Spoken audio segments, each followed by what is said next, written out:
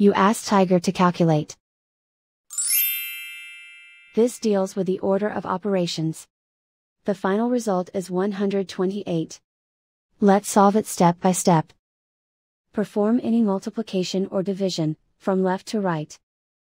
4 times 4 equals 16. 16 times 8 equals 128.